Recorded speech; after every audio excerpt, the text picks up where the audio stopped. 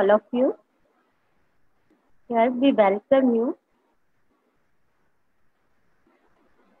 Join an webinar on topic Ethics in Research Publication organized by IESRF with collaboration of Innovative Publication.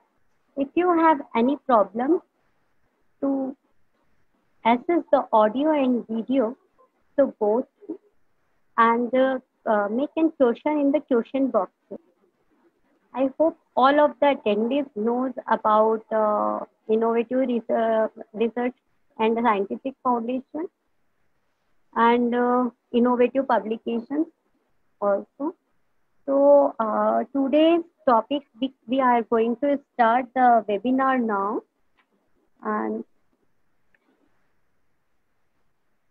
today's webinar uh, is divided into three sections.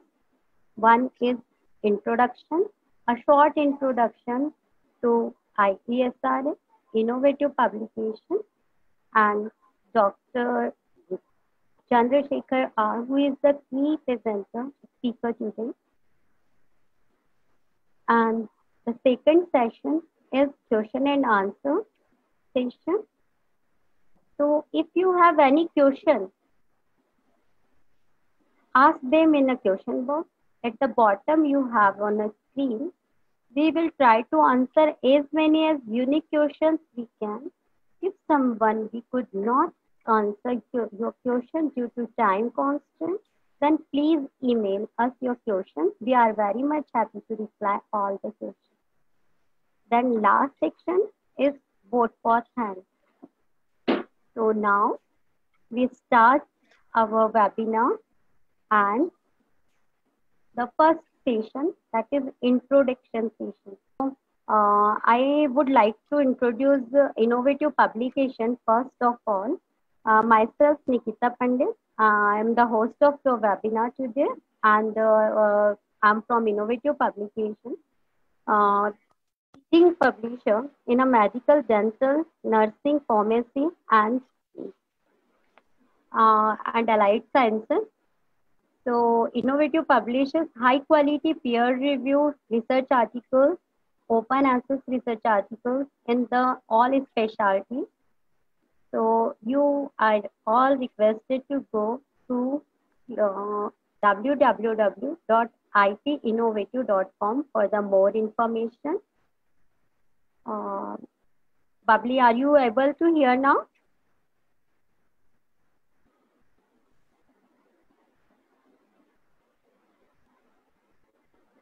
Okay, then uh, uh, I will inform you about Innovative Education and Scientific Research Foundation also.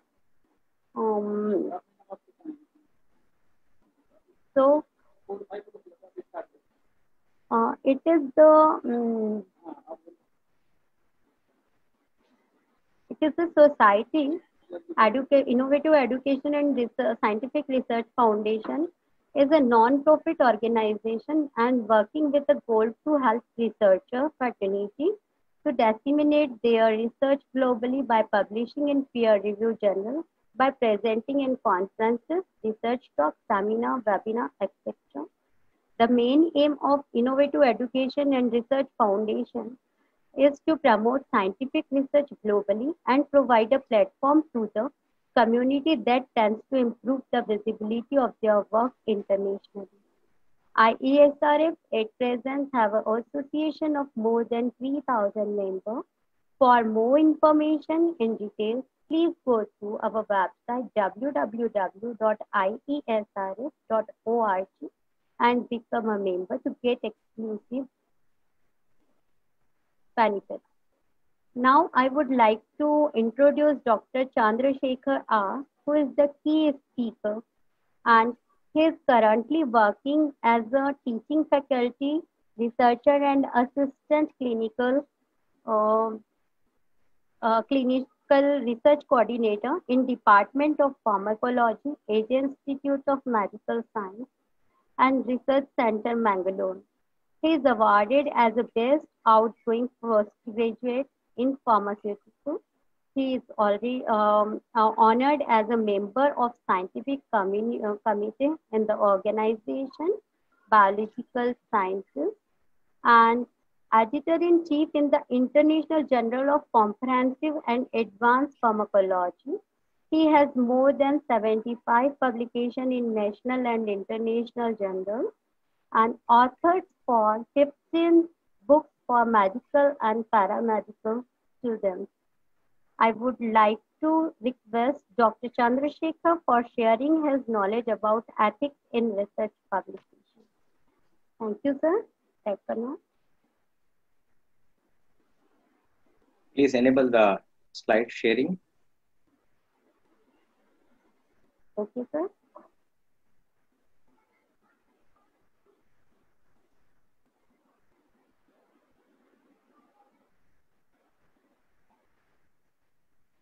Enabled, sir? Yeah. Can able to see the screen? Yes, yes sir. We'll start. Okay. Good evening to everyone. Welcome to this uh, webinar on ethics in uh, research publication. And I hope uh, after the end of uh, this session, we'll be taking some information regarding the ethics in research publication. So we'll just move on directly to the topic. What is ethics in research? To start with a very simple thing, okay? Now, what is such? A simple sentence, finding something, right? Now, what is research? It's not as simple as that what you found in search. It's a studious inquiry or examination aimed at the discovery and the interpretation of facts, the revision of accepted theories or laws in the light of new facts or practical application of such new or revised theories or laws. That is research, right? What is publication? It is dissemination of your findings to the scientific community. Why to publish? Why? Because a paper is an organized description of an hypothesis, data, and conclusion intended to instruct the reader. If your research does not generate papers, it might just as well not have been done. Means, so if it wasn't published, it wasn't done, isn't it? But nowadays, why we have to go for publication? Why? Either to get job, those already employed, just for promotion, isn't it? For new employee, they go to job, so they'll ask, what is your experience? Where are your publications? Those already employed, they'll ask for promotion. If you want a promotion, you have to get a publication. Or if demanded by the institution or organization for inspection, isn't it? They'll ask next year there'll be inspection and you should have this number of publication. Only for these demands, we go for publication. So a famous says goes, publish or perish. You can see the cartoon there. He didn't publish, so he perished, isn't it? What is ethics? The branch of knowledge that deals with the moral principle and practices in any field is called ethics. What is publication ethics? Application of ethics in publication. Now, the question arises, what ethical problem could there possibly be with this publication? We have never heard of this. Yeah, there are some ethics. We'll see. Now we'll just go through some scenario. We'll see one scenario one. You have just done a comprehensive experiment with 100 test cases of samples. Assume 90 of those test cases of samples went just like your theory or hypothesis said they would. 10 cases did not. For example, if I'm showing some carcinogenic potential or cancer producing potential, you don't know why. You think the sample might have been contaminated or uh, maybe some other no reason. Now, Do you report these 10 cases or not? Because it affects the ultimate outcome of your research. This is scenario one. We'll go to scenario two. You are the acknowledged leading expert in your field and you're in the field for more than 15 years. The research you discovered 15 years ago has made you famous and respected and brought enormous prestige to the institution, university, and you hear that you have been nominated for the prestigious research award for your life's work. Later, after a few years, you got just happened to see your data of previous experiment. Guess what? Your famous theory was dead wrong and nobody noticed it. What now? But you know. Scenario three, you got a very good job with very good destination designation based on your experience and of course with good number of publication for only one post that was vacant later you got a call from the institution that your paper has got a complaint of publication misconduct by the editor or the publisher hence your appointment gets cancelled regulatory bodies like UGC, RGHS, or MCI, any other regulatory bodies, after thorough checking of the documents, they don't consider you for the specified post due to misconduct in publication. Now, what about your job? We have done very good research study. It was funded by very highly funding agency like BRS, DPT, or ICMR and all, or maybe some foreign funding agency and it was accepted and published in a very good journal with a high impact factor. With a indexation means they have mentioned in the website. Later, by some other means, we came to know that the journal we published, the journal was a fake journal. And the impact factor indexation, what they mentioned in their website was wrong. You don't know that. Now, what about your publication and what you are going to answer for funding agency? This scenario four. Now you can see some of the press releases, the newspaper cuttings. You can see most of things came in New York Times. It might have come in some of the newspapers, but you may not, not have noticed that.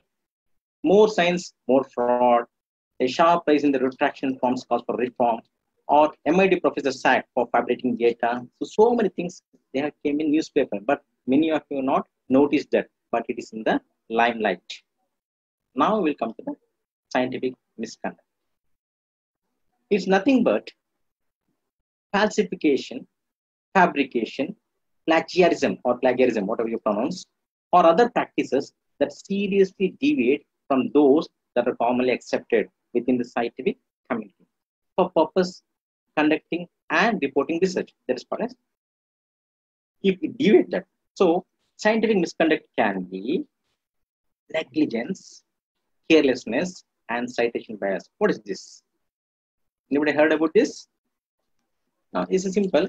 A failure to adequate review the literature on a topic before research, lack of candor or completeness in describing one's research methods, presentation of the data that are based on faulty statistical analysis, citation of articles without having read the primary sources, and selective citations of only those articles that support a particular point of view, maybe only your research, and selective citation to enhance one's reputation, epitomized by self-citation. You are giving reference of your own article, not from other articles. Now, what is the effect of this negligence, carelessness, citation? We'll see. We'll see the effect. We'll go very simple manner. You can see here. It may lead to type 1 error or it's false as false positive. You can see in the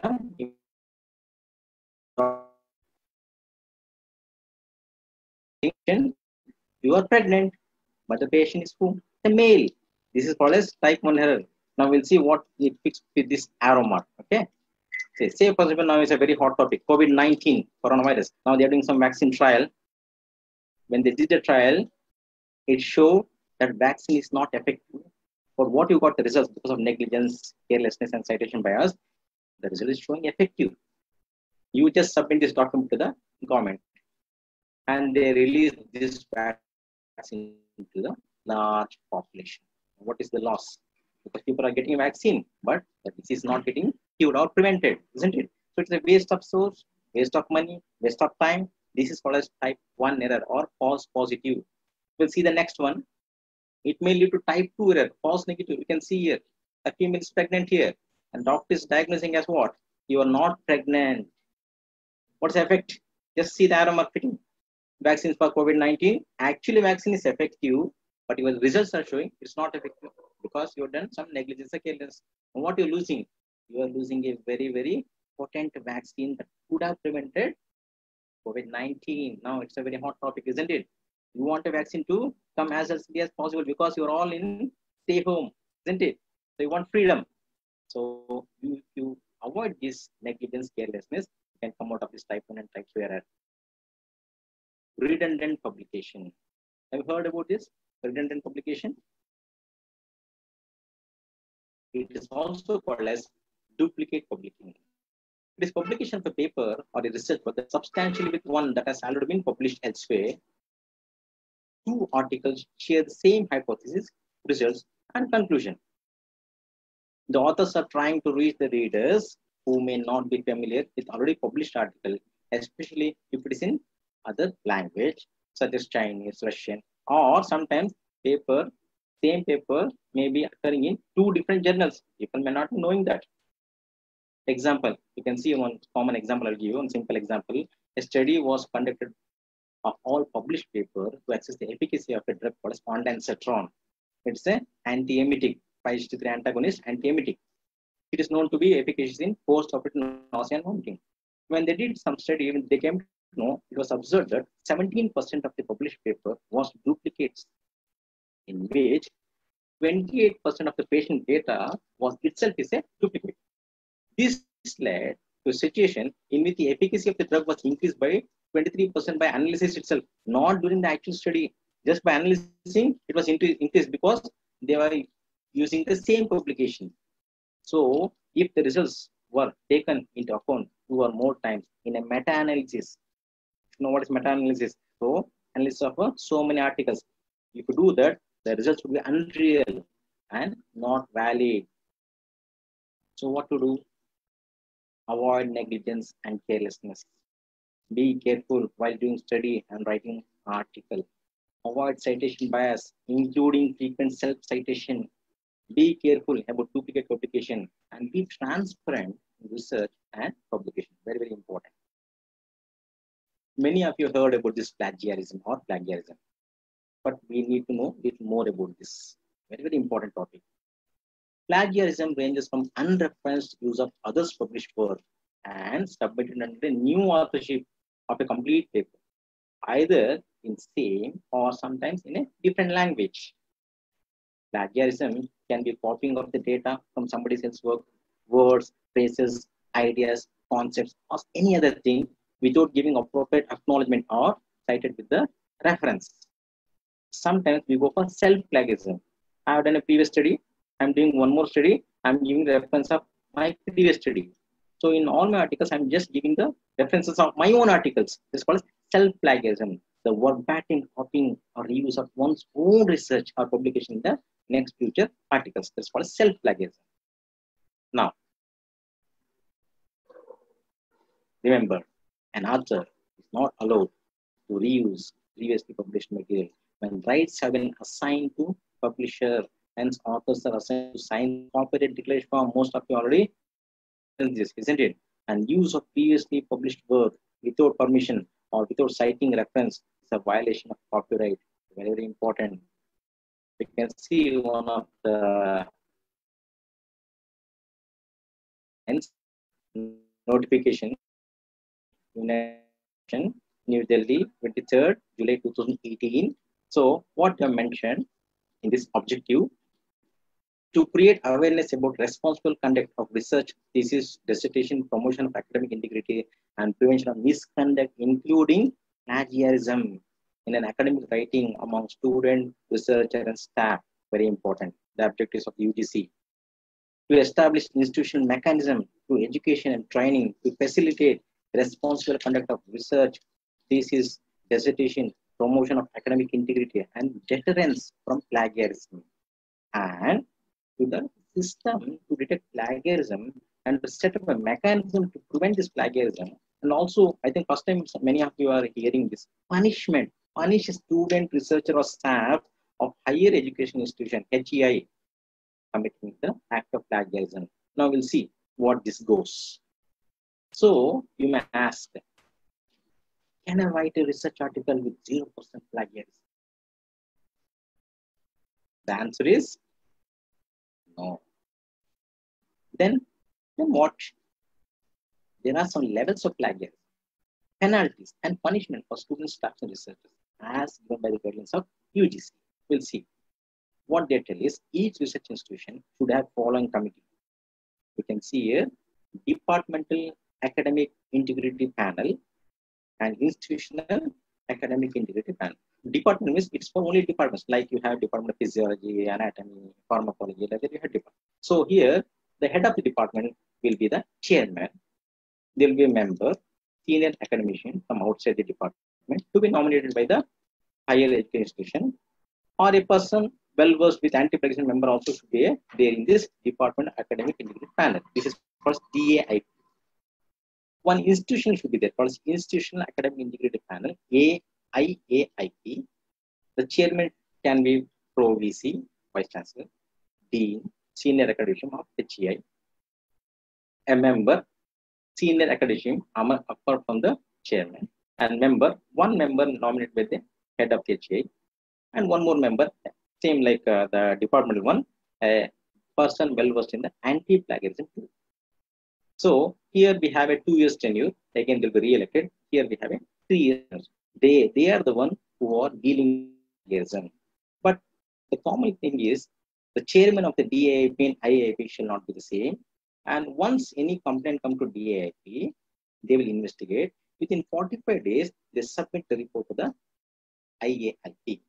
And that IAIP will take a decision but hiding any complaint issued by DIIT or IIT is also an unethical. Remember this. So you may ask question. You want to know about the penalties and punishments? As related with DIIP and IIP, you can see here. Suppose you have the written article and if there is a similarity, if it is, yeah, we can see the levels of plagiarism 0, 1, 2, 3, where you grade it. Zero means similarities is there, but only up to 10%. So they will use no penalty, no penalty either for students or staffs or researchers. But if it's 10 to 40% for students, they will tell to revise and resubmit in six months. But for faculty, they will tell to retract the article or withdraw. Will come later. What is this? For the action if the level of plagiarism is 40 to 60%, for student, will be debarred for one year. It's act as a fail, isn't it? But in case of staff, they will be asked to uh, withdraw the transcript. It will be denied right of one annual increment. And also, they will not be allowed to guide any student of MPhil or PhD or any other student for a period of two years. The rights will be taken back. If the level of plagiarism is about 60%, the student registration will be cancelled. Remember this if you're doing MDMS or whatever it may be, including PhD. For faculty, it is above 60%, same as above what we saw, and plus they will be denied for two annual increments. Suppose if anybody find out there's a repeated plagiarism for student, there will be one higher level of the punishments as we mentioned previously about that as instituted by the IAIP. For faculties, a discipline action will be taken and they will be suspended for a period of six months to one year, depending on the recommendation. And penalty in case where the degree, suppose somebody has published and he has taken degree and went, what they do? They can put the degree in a temporary suspension. The same thing can be done for the faculties. If they have been promoted to some higher position, they can be demoted. It's very, very bad situation, isn't it? So try to avoid this plagiarism. You can see exactly is now uh, you can see one paper publication uh, guidelines given by the UGC, the 9th August 2019, almost one year before, they are telling here that UGC in one uh, for, 543rd meeting held on 9th August 2019 approved two credit courses for awareness about publication ethics. Okay, so they are telling that that they should have some common course, pre-PhD course that involves research and publication ethics, RPE. So you can see HRD ministry statement, what they are shown here. Teachers to lose jobs and students their registration if they are found in the act of plagiarism. Very, very serious misconduct. How to avoid this plagiarism? You may ask, isn't it not the case? Do an extensive review of article before writing a paper. Short quotes from a previously published paper article should be set up in quotation marks and original version should be cited properly. Permission should be requested when the last section you are going to reproduce from an other work and methods in literature review should be paraphrased, express meaning of something written or spoken using different words, especially to achieve related carry. Now we come to see what is this research fraud. The research fraud is publishing a data or a conclusion that are not generated by experiments or observation, but generated by self-invention or data manipulation by the researcher. Sometimes generating a data without even entering a lab or research area at least once. We have seen some paper like this. So the research fraud can be falsification and fabrication. What is falsification? You heard about this? It is manipulating research material, equipment, processes, omitting or adding data such that the research is not accurately represented in the research record, but made to appear significant in the research paper. This is called as falsification. Now, what is fabrication? It is intentional misrepresentation of research results by making up data such as that report in the journal or outright synthesis of experimental data or reporting experiments that were never conducted, sometimes referred to as dry labbing, more commonly called as cooked up. You would have heard this, you know, sometimes they're cooking up the stories like that they were cooking up the data. The basic difference you can see here, fabrication is you've done the experiment, but you manipulated. Fabrication, never done the experiment, but you represent the data as if it was done. That's called as fabrication. Why do you do this falsification fabrication? Why? Why? An idea? Because my hypothesis is positive and my results is negative. Why? Or I submitted my negative or positive result to my higher authority and they told you change the data because you know they will not accept like that they told and I did either falsification or fabrication. But you may ask, who knows about my falsification and or fabrication of the data? Who knows? Mm. There are few people. A reviewer expert in the field concerned to a particular institution or a journal will be knowing about this. Or a well-versed statistician attached to institution journal, they will be knowing that you have either falsified or fabricated the data. They can easily catch you. Remember this. How to avoid this? Researcher should be honest in their work. It's very important. And research administration should have as it some panels to verify and audit this act of misconduct. And some staff should go and monitor when the students or staffs are doing the research. And you should always take a statistician opinion before you do the work, during, and even after the work. Finally, as I told, transparency is very important in the data. Now from the next topic, undeclared conflict of interest. Now, in the research paper, in the methods, it is mentioned as you have taken ethical committee approval, but actually you are not taken. And or you have done a study and you are giving the ethical reference of some other studies. This is wrong.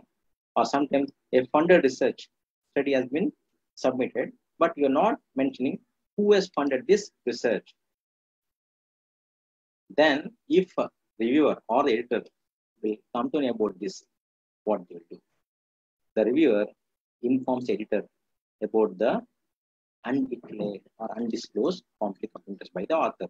Then they thank the reviewer and say, you plan to investigate. So the editor will tell to reviewer, you plan to investigate.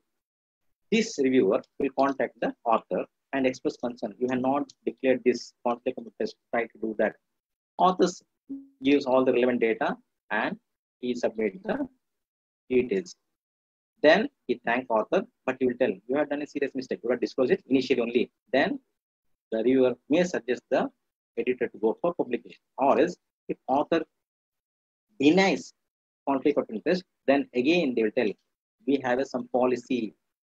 You have to sign the corporate form that there is no conflict of interest so that the journal people will be on the safer side.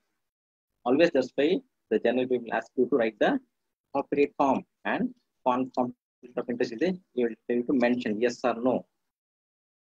If even after you provide the information, if the general reviewer editor is not satisfied with your answer of conflict of interest, then the paper will be retracted and the concerned authority will be informed. Maybe any regulator office will be informed.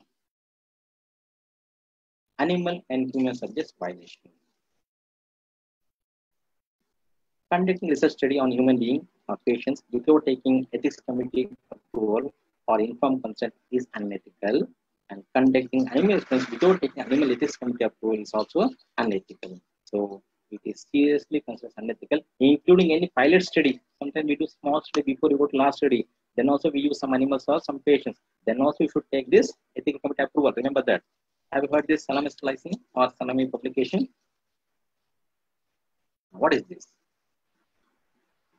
It is a process gradually reducing the size of particle by series of small incremental steps or modification of corrections. Or a single study has been split to many articles. Why we do this? What's the reason?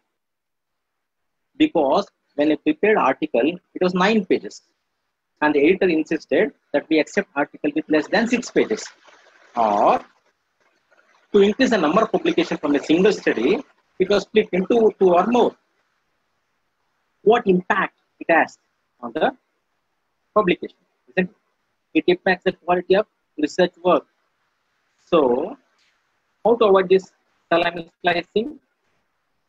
focus on quality, not on quantity of paper. If you get a publication in PubMed Index Engine or Scopus, one paper itself enough for lifelong. Don't go for number of papers, go for quality of paper. Publication retraction. Already I told the withdraw, same thing. So it is a retraction is a public statement made about an earlier statement that withdraws, cancels, refutes, or reverses the original statement. What is this? The retraction may be initiated by the editor of a journal or by the authors of the paper or sometimes their institution also. You see from facts of the above, example, the editor of two of the journal alerted a reputed bibliographic database when they could not validate the email address of the reviewers suggested by the authors upon submission. The concerned bibliographic database then conducted thorough investigation of all historical submission from this group. Based on the evidence provided, the various editors under bibliographic database decided that retraction was appropriate in 26 cases where the peer review process had been compromised. In addition, in several cases, the authorship list has been changed without agreement with the editor or during galley proof correction. Now, after thorough investigation, the editor has concluded that the acceptance of this article was based on positive advice by many fake, illegitimate reviewer reports. Sometimes author will be asked to suggest the reviewer. Here, the author has given the reviewer email address where he had an additional email address, 2, 3. So from his own email ID, he has given as a reviewer. So when they investigated, they came to know the reviewer is not actual reviewer. It was the author itself who sent a fake email ID and given as a reviewer. The reports were submitted from email accounts were provided to the journal as suggested reviews by the author itself during submission of the article. Later, that famous bibliographic database retracted 26 accepted papers because of fake reviews published between 2014 to 17.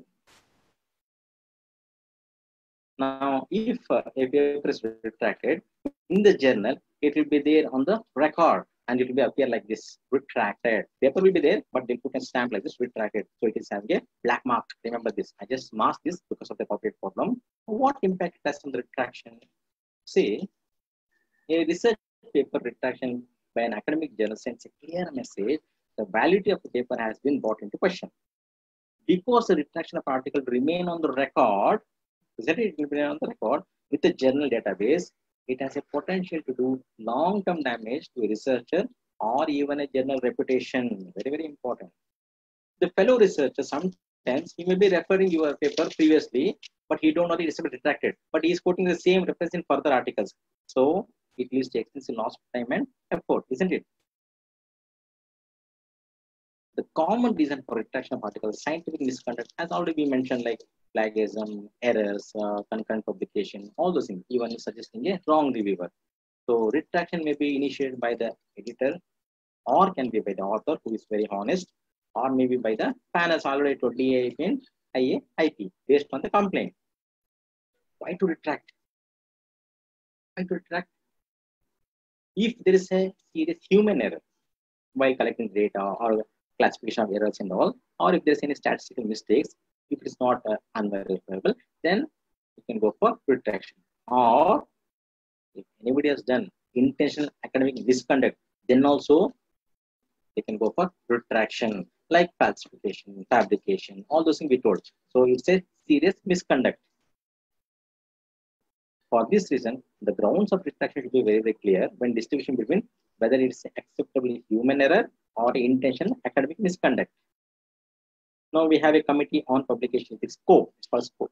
So they tell every single case of fraud and misconduct, reduce publication confidence, abuses the use of public and charitable funds, and causes insult and frustration to mass majority of the careful and honest researchers. This is very, very important. Can see, you can go to the website and see Committee on Publication Ethics. So we have some 10 points here. You can see allegation of misconduct, all this is mentioned here. You can go to this website and get all the details. Then now, who will pull the trigger of retraction? Who will pull? Because what's the problem here? The decision is not always straightforward as it might seem, because there will be disagreement between the authors and editors as to whether the error should be addressed by correction or by full retraction. The retraction of a published article or paper can be uh, requested by an author who has uncovered an error so that the author can be on the safer side. But most authors will not do this. But it is a serious misconduct. Moreover, editor also is very concerned about the general reputation, isn't it? If he has one uh, issue uh, or four issues per year and he has more number of uh, articles retracted, if anybody wants to submit their article to that journal, they'll be thinking, why? Because this uh, journal is publishing only retracted articles, isn't it? So, whereas the author is concerned about his or personal or academic reputation, the dilemma comes here. However, in both the case, the concern is for shadow that retraction will cast over other work. But fortunately or unfortunately, editor will typically have the final say now everything we did. Now the last thing comes authorship problem. This is a very, very serious problem in any research paper. The International Committee of Medical Journal Editors states authorship as follows. Substantial contribution to the study concept, design, data, acquisition, analysis, and interpretation. Drafting or revising the articles for intellectual content. Approve the final version. Agreement to be accountable for all aspects of research work related to the accuracy or integrity of any part of the work. So, any author should meet all these four criteria. Based on this, an authorship can be first author, held to have made greatest contribution for the research, corresponding author, who takes the primary responsibility of you know writing the paper, submitting, revising, all those things. Or a person can be both. First and corresponding and co-authors like second author, third author, they have done some minor contribution in the research work. Now see the, on the other hand, contrary, unnecessary author. We have three here, ghost author, guest author, gift author. many of you might have not heard about this ghost author. Ghost author occurs when an individual who has significantly contributed to and participated in the development of a specific scientific work, but is not listed in the name of author. Now he's called as ghost. Why you become ghost author? Why? See example. You have done a study with somebody, but you both had a difference of opinion in personal context, turmoil for some reason, and the other person has published the data without your name, and you came to know while searching some other article that this uh, research work I have worked on this, but my name is not there. You become ghost author.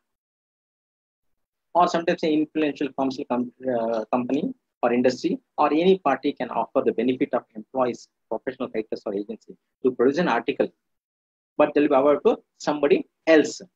The person who wrote will be ghost author in this. Guest author. A guest author is someone who is named as an author but did not contribute in any meaningful way to the design, research, analysis, or writing of a paper. Just simple will see who is a guest. Who is a guest? You have experience. A guest is someone whom uh, you know is visiting. He, she doesn't really live here, but stays because of courtesy and forbearance, tolerance of the host. He, she eats your food, sleeps under your roof, uses your hot water, watches your TV. In short, avails all the amenities the host provides. He, she doesn't pay the rent or, or water bill, though that would have been transformed her to what? A tenant. But in this case, not because they are your guest. Why an author becomes guest author?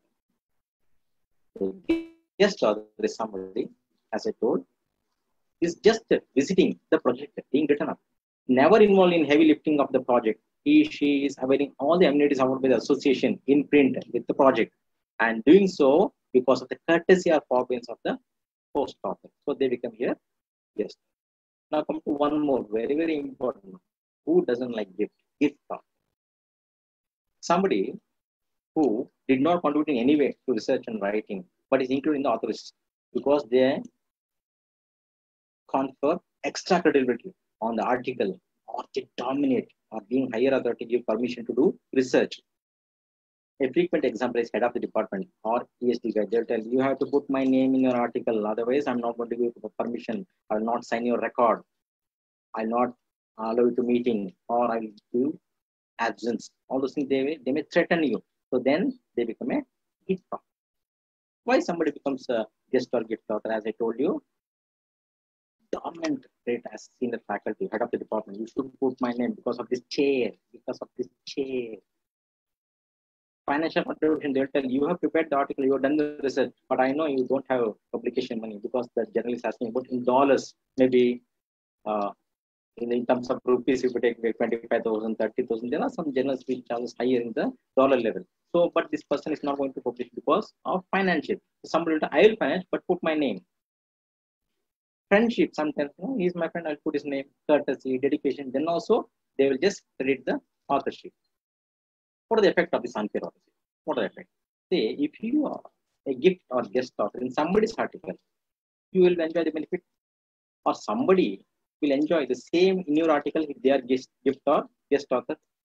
But if there is ghost author in your article or if you are a ghost author in somebody's article what you have worked for then in either of the case, a matter of scientific misconduct, what a letter to the panels, AIP, IAP, or publisher, editor, whoever, write a letter with a copy of the hypothesis, in hypothesis they'll mention who are all the investigators working in this project. If that copy they send that, then it becomes academic misconduct. You can't omit an author because who, who has worked in the research project, but his name is not mentioned.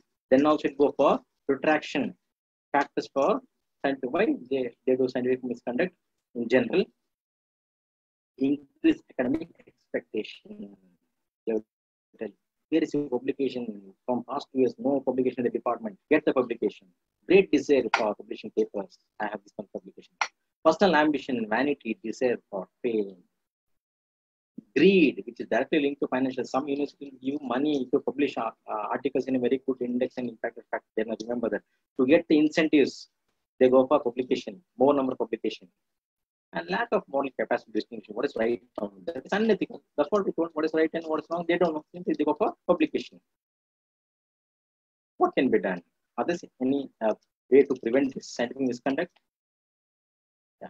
Providing research institution and education, research education by conducting webinar as we are doing now, seminar, conference, email, etc.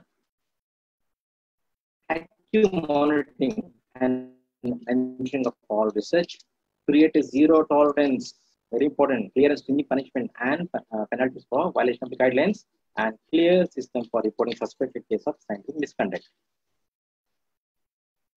Create visible oversight committee as we already told the panels to investigate the proceedings.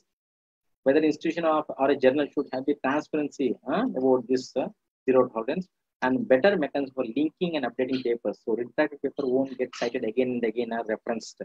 And develop institutional standards for record keeping and education of researchers, all level of training. You can just see the overview of this publication, how the percentage wise, all this, whatever I told you, it's accounting this for scientific misconduct. If there are evidence of misconduct or fraud, then prior to publication, editor publisher will usually contact and discuss with the author seek clarification, and if they are not satisfied, the manuscript will be withdrawn or retracted. If already published, what they do, they put that it has been retracted as well, or they mention the note of editorial concern or errata, or some corrections also has to be done. And authors can be banned for submitting the same journal for a period of three to five years. Editor publication may in some case provide information to higher authorities. Remember, uh, very, very uh, serious. If they write a letter to the funding agency or the government agency, then they're going to cancel some of the registrations or even the designation. Some countries have government agencies, like you can see in USA, Office of Research Integrity. They're going to seriously uh, do investigation about this and misconduct.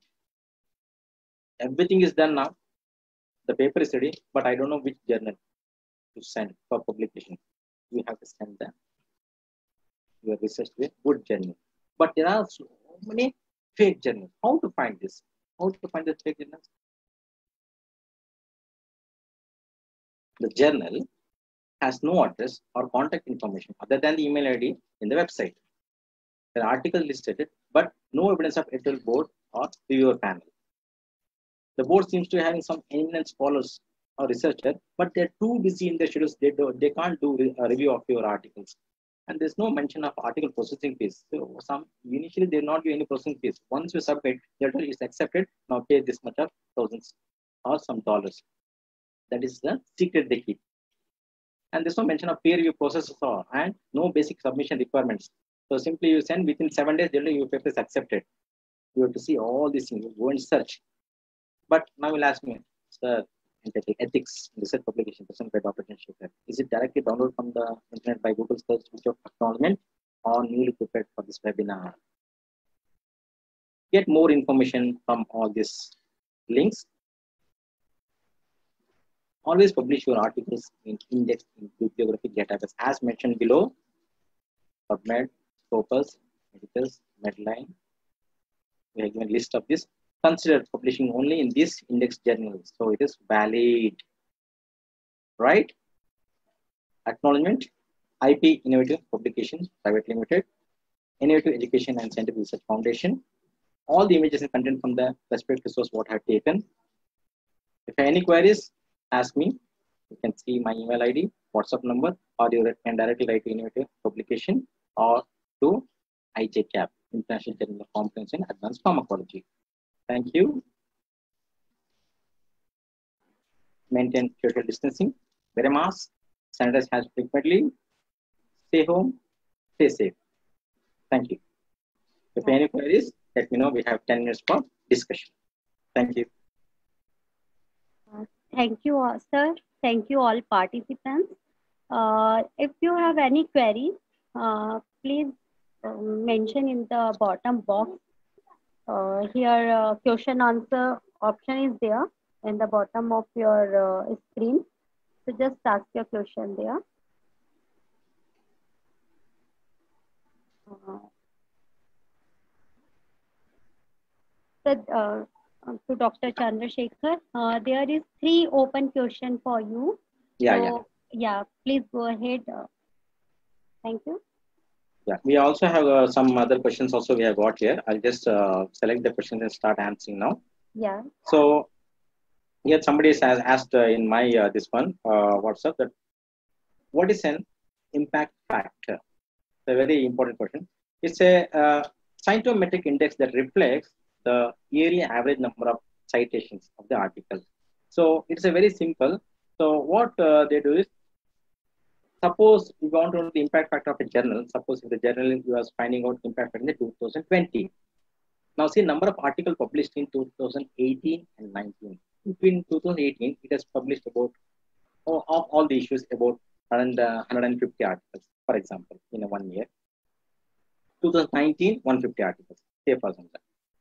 So 2018 number of articles plus 2019 number of articles divided by total number of citations of the article published in 18 and 19. Say, for example, if uh, we take up 125 in 2018 and 125 in 2019, so it becomes 250. So 300 by 250. 300 total number of articles published, total citations 250. If we divide this, we may get around uh, 1.2. So 1.2 is the impact factor. So that is the impact factor. So if you publish your article in a a journal which is having very good index, in fact, at least minimum one also, it's a very good uh, research article. That's what the answer for that. So if uh, somebody is asking here, where does the uh, inconclusive data fall? Fabrication or falsification? So there is a slightly overlapping here because your data is not conclusive. That means you have done the experiment. It is not conclusive. So it falls under falsification. That's the answer for that. So it is uh, one more question there. If one published article in PubMed Index and cited in further studies, does it affect as a self-plagiarism? Yeah, very, very uh, nice question it is. See, if you are quoting, as I told, any references, you should give credit. So if you are quoting your own also, it doesn't mean that you can't quote your own article at all. You can quote, but not frequently. And also, you should give the actual references from where you are taken. So, self-plagiarism is allowed. It's not, it's not, I'm not saying it's not allowed, but still, you should give a proper justification. And also, if you're taking your own article to be referenced, you should obtain the permission from the journal editor or publisher because you already given the copyright to that person. You should obtain a consent from that publisher or editor. Then you can go for referencing the same. Then uh, can we have a copy of presentation if it is okay from the speaker to share a copy? Thanks. Yeah, definitely we can give the uh, copy. We'll send to the all those registered participants to their email ID. You can go to this. Yeah, somebody is asking, can we request a copy of slides? So definitely we can give the copy of slides. It's a universal, no problem. You can get the copy of slides. And uh, somebody has asked one more question here. How to select a research topic? Very, very important, very important. How to select a research topic? See, we do some uh, uh simple mistakes.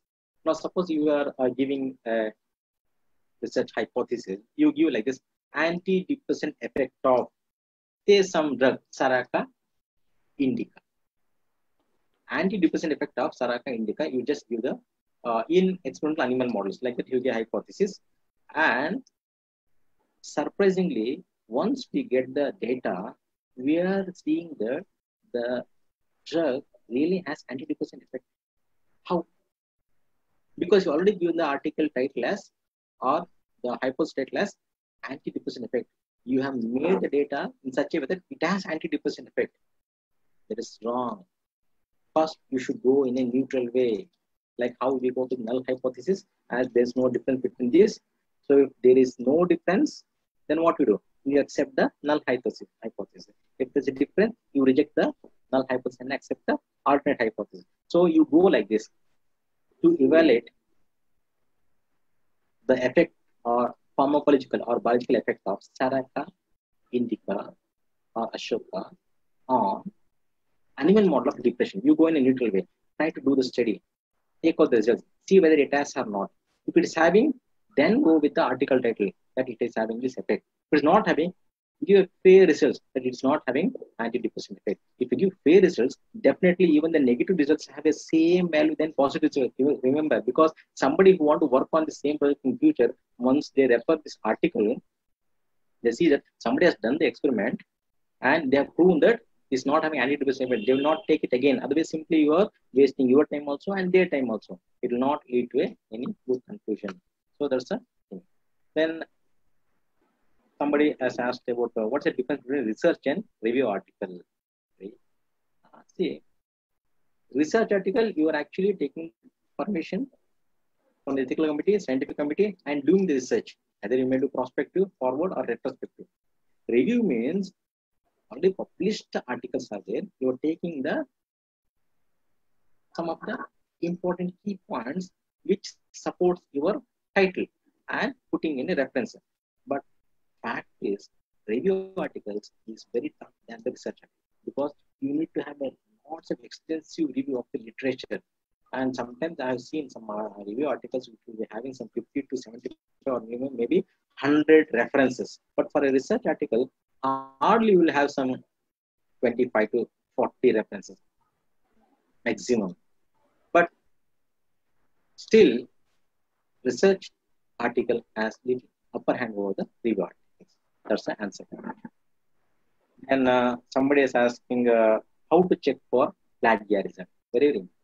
See, if you go to online Google search, you get lots of uh, links to check the plagiarism online. Free check is there. Sometimes you can buy the software. But whatever it may be, a good reputed journal will be having their own sophisticated software. So if you send a article there, they will definitely check the plagiarism.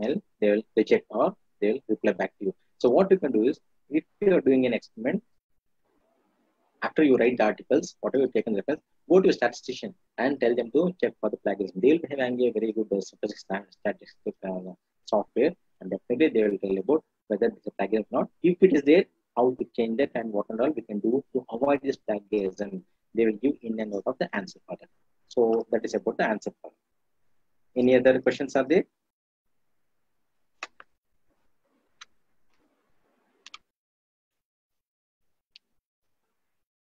Any other questions are there? I'm ready to.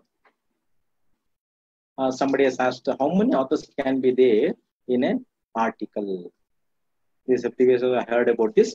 So usually I've seen uh, uh, a paper uh, where uh, we got uh, 10 to 12 authors, a dozen authors, but may not be 100 also, but a dozen authors I've seen. If uh, authors are restricted to six plus or minus two, it will be good. But don't go beyond 10, 12 and all. Because anyhow, if anybody is referencing that article, anyhow, after six authors, they're going to mention as what? At all. After six authors, they'll put et al. So if you keep the authorship uh, numbers, six or less than six, it will be good. And you know, some of the institutions also have some criteria for authorship. Like first author will be having these points, like 10 points, second author, eight points, and further authors will be having some six or four points. So based on that, they give some increments or they may give consider for promotion or incentives. So that also may be there. So that is about the answer for this authorship, number of authorships. So I hope uh, maybe a few more questions are there, but uh, we have very time limiting time. So what we can do is, uh, yeah, somebody has asked, do we have to publish only in UGCK to fulfill our PhD criteria? See, it depends on what your university has uh, asked for. They will have some criteria that if you are publishing your paper, you, you should have following indexation only. Then You just see your guidelines organization have, you see the guidelines. After that, we can go for what to consider. Some people will ask only UGC uh, indexed journal. Some people, some university will ask about Scopus indexed only. So nowadays, uh, most of the universities going for Scopus indexed. So that's what you have to see for. I would say that there's a C grade. Uh, okay. yeah, uh, there are some grade journals where the quality is very low. That's why I told you, you need to select uh, your own journal and you should have lots of discussion with uh, the other researchers who have published uh, valuable uh, uh, paper in uh, good journals. So you need to discuss with them take the suggestions, then you can go for publication. Because once you publish, as I told, it's very difficult to take it from the, the website because still, if even if you retract also, it will be documented. As it is uh, told here, one more question is there. What's the difference between fabrication and falsification? As I told, falsification means you have done the study, you got the result, but when you put statistics, it's not so significant. So either you are adding or deleting the data. Fabrication means you have not done any experiment, just sitting in your room and writing the paper and putting your own values. You never enter the lab. That is called fabrication. Cooked up stories, cooked up research. That is called fabrication. Yeah, sir. How many references should be we consider for writing review paper, or what is the criteria for selecting number of references? This also depends on the journal also and your study also. Usually, I have seen, as I told, uh, for a review articles, I've seen an article uh, with 50 to 75 references, up to 100 references we have seen. It depends on what is the, the, the title you have taken. Depends on title. So, and the journal guidelines will, will tell restrict the number of references. So sometimes the journal will give the guidelines based on that you can go because it depends on the editors and publishers. Uh, what about the impact factor of the C journals? They show that the impact factor is so and so while the quality of research and this journal is very bad. Yeah. Yeah, that's why I told. Sometimes I told they, they should be uh, uh, very uh, difficult in sometimes you know, uh, selection. So what I see is directly don't go for initial impact. First see the indexation. If it's a very good indexation is there, that itself is enough. Impact factor, yeah, you have to consider later. First, see the index. First, they will ask for the indexation. Nobody will directly ask for impact factor. Impact factor is very important for university, I know that. But first uh, criteria to be considered is indexation. Then go for impact factor. That's what. Uh, thank you, sir. There is a huge number of uh, question on the live streaming WhatsApp. So what, what I can suggest is let them uh, uh mail their questions to uh, you know my personal mail or for IP publication mail, then definitely I will give answer to all the queries as far as possible. Yes, uh, because not, yeah, because lots of participants are going to with the live uh, session from website uh, Facebook also.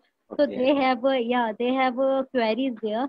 So I write your I share your details. Sure, sure, sure, sure. Yeah.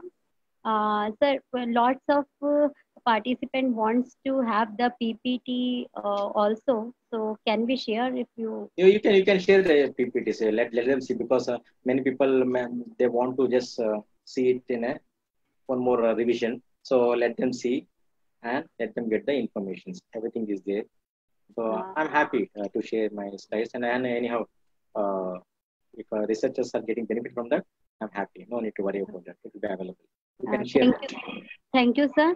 And to all the participants, uh, attendees, I uh, request you for the uh, your or uh, other questions, you just email us and Dr. Chandrasekhar R directly. Uh, you can email us on our mail ID also shared here. Uh, so now we can go ahead for the vote and mm, and so, sir, it's my privilege to have been asked to prepare the vote of thanks for this uh, webinar on the ethics in research publication. Uh, me, myself, Nikita Pandit, on behalf of Innovative Publication team, extend a very hearty vote of thanks to Honorable Speaker, Dr. Chandrasekhar R. Uh, to uh, share his uh, knowledge about very on a very important topic of research and I must thank to all of attendees for your uh, patience. Uh, you may all uh, contact us on our email ID provided there and go on the website uh, www.iesrf.org for more details. Thank you all. Thank you. Yeah. Okay. Uh, we just share and feedback form uh, after the um, webinar. So we look after for your feedback. Uh, thank you all. Have a great day.